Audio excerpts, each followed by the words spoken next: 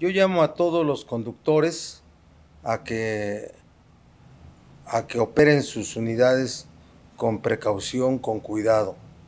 Quien sea responsable, lo vamos a, se va a determinar la responsabilidad que le toca, ¿sí? La responsabilidad que le toca para que esto sirva como una forma de expresar la disciplina con la que vamos a actuar. Y, todos tienen que reparar, pagar la reparación del daño. El que no la pague, le vamos a cancelar sus concesiones. Y llamo a todos a la responsabilidad.